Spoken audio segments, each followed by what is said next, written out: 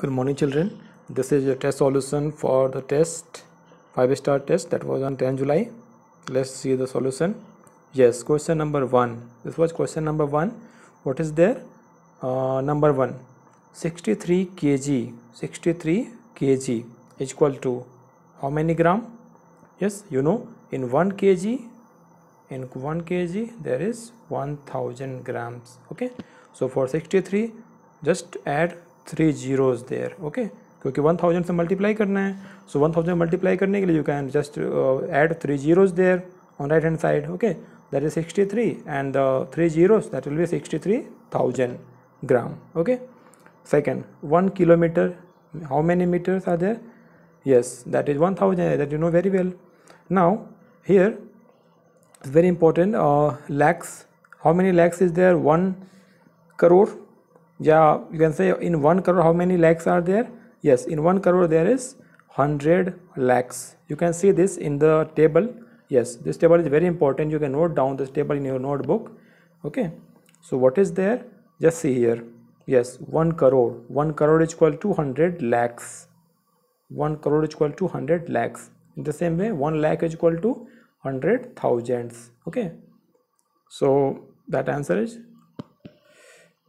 100 lakhs okay i will make you remember uh, like uh, if you write 1 crore like ones tens hundred thousand ten thousand lakh 10 lakh and 1 crore this is 1 crore now so you have to write in lakh only okay so just go to place value of lakhs only just ones tens hundred thousand ten thousand this is lakh so this total is lakhs okay so मैंने लिखा था करोड़ ठीक है? But मैंने इस place पे क्या कर दिया? केवल लैक को ब्लॉक कर दिया। It means now it is hundred hundred and lakh okay ऐसे आप कन्वर्ट कर सकते हो, ठीक है? So next let's see number two question number two yes there was a question let's read the Seema took loan of rupees eight thousand five hundred ninety six from the bank इतने इतना loan लिया। इतने रुपये जिसका उसने loan लिया है। She pays back rupees nine thousand two hundred eighty six इतना उसने पे कर दिया। ठीक है? लोन लेने के बाद हमें कुछ इंटरेस्ट पे करना होता है, ठीक है? मीन्स वो लोन से कुछ ज़्यादा होगा। सो वो देखिए, वो अमाउंट क्या है? लोन से ज़्यादा है ना? Yes what amount did she pay back as interest to the bank तो जो उसने एक्स्ट्रा पेमेंट किया है, ठीक है, ये तो हो गया लोन का अमाउंट ये एक्स्ट्रा कुछ उसको प्लस करके पेमेंट करना पड़ेगा, वही क्या हो जाएगा? That will be the interest जो बैंक को मिलेगा, ठीक है? तो कितना इंटरेस्ट उसने पे किया? This was this is the first one now Seema was able to repay the loan in two month उसने दो मंथ में लोन को चुका दिया पे कर दिया। And she paid equal amounts in two month दो मंथ में चुका दिया लोन लोन को एंड दो मंथ में, दोनों मंथ में उसने सेम अमाउंट पेड किया है, ठीक है? Equal amount so what amount did she pay in a month तो वन मंथ में कितना हो गया?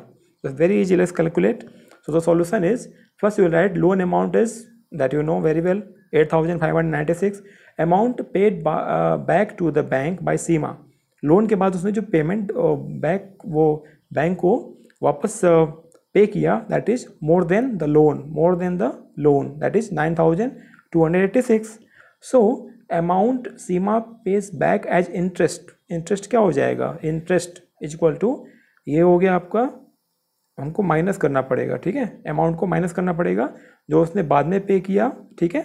और जो लोन लिया था। आप इसको माइनस करोगे then you will get rupees six hundred ninety this is the interest ठीक है इतना उसको ज़्यादा पेमेंट करना पड़ा बिकॉज़ ऑफ़ लोन की वजह से। लोन था ना? लोन में हमें कुछ ज़्यादा पेमेंट करना पड़ता है। सो जो ज़्यादा हम पेमेंट करते हैं more the more amount is the interest okay now second part Seema paid equal amount in two month question में दिया हुआ है इक्वल अमाउंट पेड किया है। सो so, दो मंथ में उसने पेड किया है कितना? Nine thousand two hundred eighty six यही ना पेमेंट किया है दो मंथ में। सो वन मंथ के लिए क्या करना पड़ेगा? You will divide this amount by two so amount Seema pays in a month is equal to total amount को आप टू से डिवाइड कर दोगे ठीक है? You divide by two after division you will get the solve answer that is rupees four thousand six hundred and and that is 43 okay? So the first answer is there.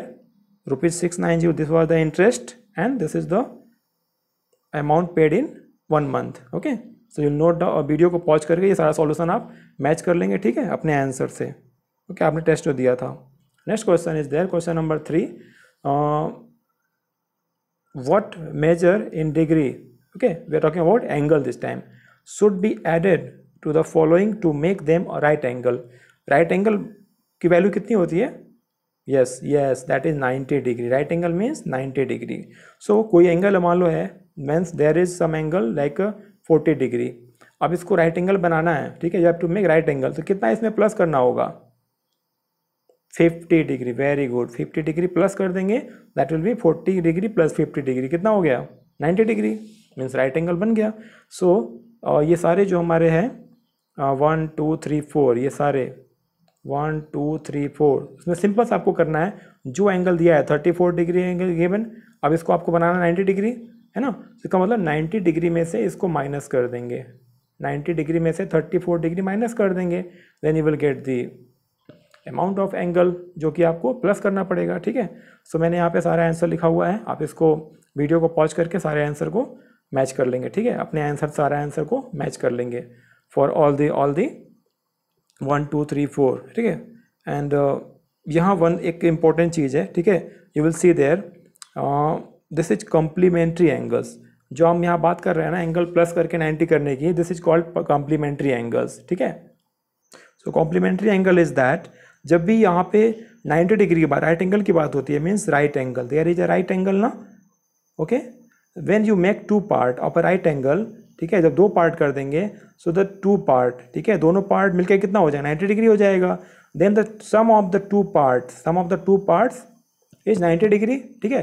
तो वो जो दो angle बन रहे हैं angle one and angle two these two angles are complementary angles okay these are two complementary angles ठीक है? So angle one का कॉम्प्लीमेंट्री एंगल क्या हो जाएगा? Angle two and angle two का कॉम्प्लीमेंट्री एंगल एंगल वन हो जाएगा, ठीक है? It means for thirty four degree the complementary angle is fifty four degree okay for sixteen degree the complementary angle is seventy four degree see you can see that to get complementary angles complementary angle of the given angle you have to do minus ninety degree minus the given angle that will be the complementary angle okay so you will uh, make you can make this diagram in your notebook to understand okay? The sum of two angles is 90 degree then the angles are complementary angles okay?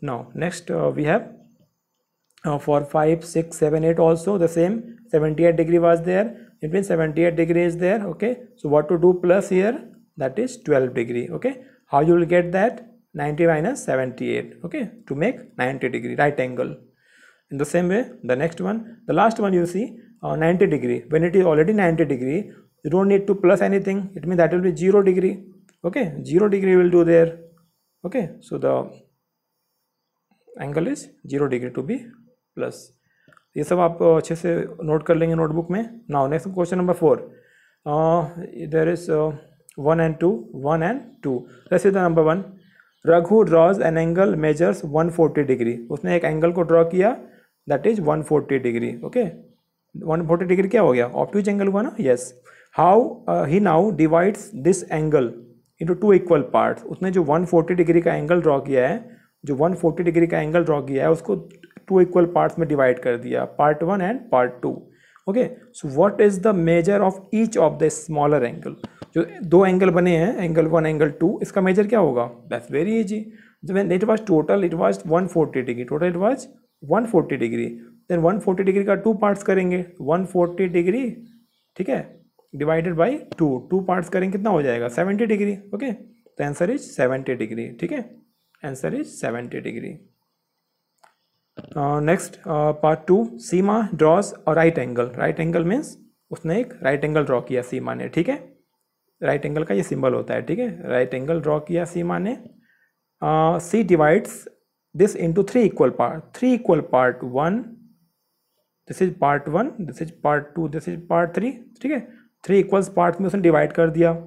What is the measure of each part that's very easy total it was 90 degree तो three part करने पर क्या हो जाएगा? 30 degree 30 degree and 30 degree है ना? That's very easy so the answer is what is the measure of each part answer is measure of each part is 30 degree ठीक है?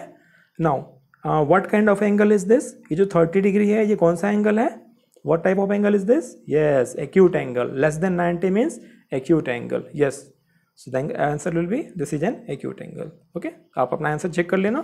If it is wrong you will make correct okay next question number five yes find the area of the following figure this is figure one and figure two okay you have figure one and figure two let's see figure one first ये जो shape uh, uh, ये जो figure draw किया गया है that is in square sheet ना ये जो येलो बैकग्राउंड में दिख रहा है this is square sheet it means each square is of one square one centimetre square ठीक है?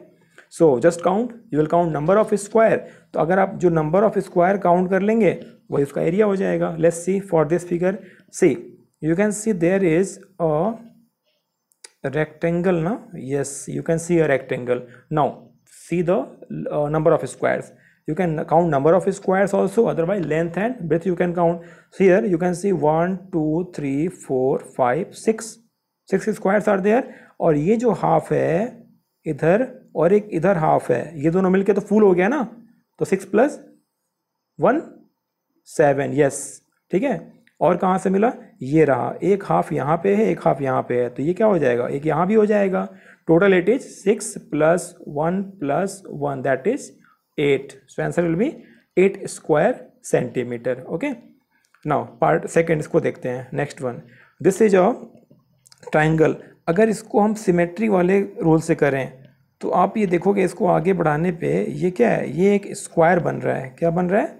स्क्वायर स्क्वायर का लेंथ कितना हो गया? One, two, three and four.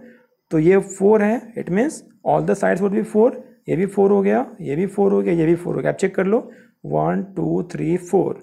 ये वन, टू, थ्री, फोर। ठीक है? It means this is a square आप स्क्वायर का जब हाफ़ करेंगे हाफ़ स्क्वायर का हाफ़ क्या हो जाएगा? ये ट्राइंगल हो जाएगा। So you will see the area of square will be four four four four so four four जा सिक्सटीन सिक्सटीन ठीक है? स्क्वायर सेंटीमीटर, है ना? अब सिक्सटीन का हाफ़ कितना होगा?